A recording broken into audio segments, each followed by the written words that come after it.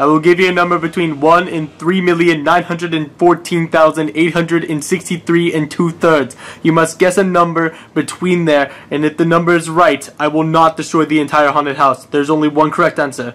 Uh, uh, uh, okay, I'll pick somewhere in the middle. Uh, uh, three, three million, seven hundred thousand, ninety thousand, thousand, uh, and seventy-four. That is not a number, but the answer was five and a half. I'm going to destroy the haunted house now. Wait, don't come back here! Whoa, what are you doing? Listen here, uh, piss tits. You better not do anything. My name is Vladimir. I don't care, dog. You better not mess anything up, because Jeff's gonna blame it on me.